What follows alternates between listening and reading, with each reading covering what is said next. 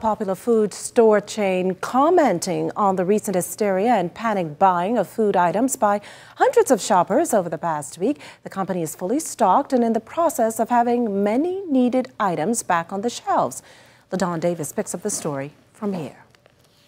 Some good news for shoppers as Super Value executives say they plan to have Lysol, wipes, and sanitizers by the weekend. Store manager Ricardo Stubbs says there's no need for panic. As always, Super Value, we're always fully stocked. Um, truth be told, we have su sufficient supplies in our warehouse to last three to four months and always we replenish. So it's always being consistent. We never wait until we reach bottom line. It's always a constant flow of grocery at all times.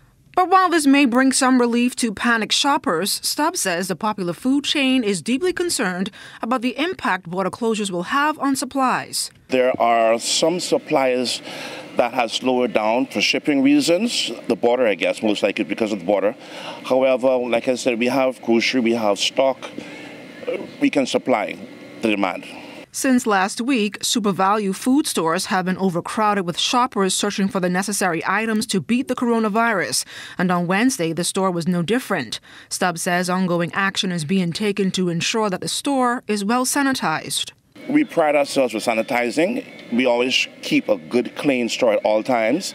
Um, at this time, the exits and the entrance doors, they always had the handy wipes for the towels, for the trolleys, the hand sanitizers throughout the store, stores being thoroughly sanitized at all times. It's constant. Meanwhile, a few shoppers we spoke to say it's better to be overstocked out than caught with their pants down. Just getting some fruits and every items, uh, everyday items that we may need. Um, there's no sanitizers or anything like that, so we just got to make do with what we have until such time. At least get the fruits and stuff to, you know, keep your immune system up. I already got those stuff ahead of time, and those are stuff that I normally have.